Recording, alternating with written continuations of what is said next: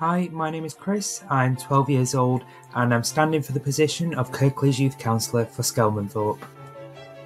Hi, my name is Chris. I'm 22 years old. I'm a teacher living in Bulgaria and an educational activist.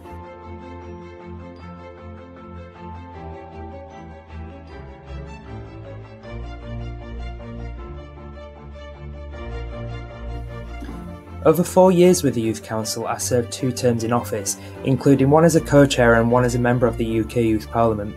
Walking through the doors of a council chamber as a teenager and speaking out on local and national government policy forces you out of your comfort zone.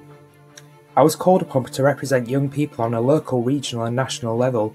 I was delivering workshops, meeting politicians, and attending conferences in London and Belfast, amongst other places.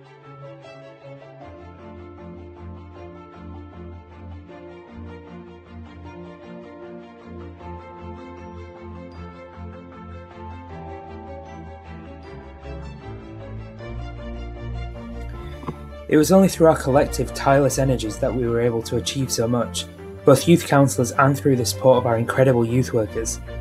There was a genuine bond which united us, and a friendship which transcended all others.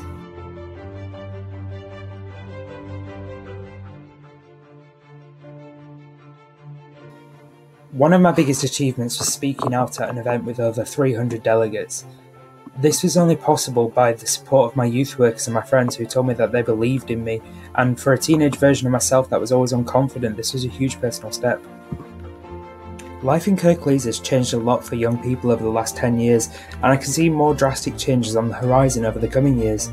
Young people are going to be forced to integrate on an international scale to resolve the most pressing global problems, and we shouldn't make any mistake about it, this is only going to be possible by empowering the leaders of tomorrow now that has to start at a grassroots level. We have to ensure adequate funding for youth democracy bodies, which help to empower young people to have confidence, to develop networking skills, and to speak out about the changes in the world that they want to see. I know that it worked for me, and after all the support I received growing up, I feel that it's only right that I carry on that work and I call for the empowerment of young people across the world and fight for the right for their voices to be heard.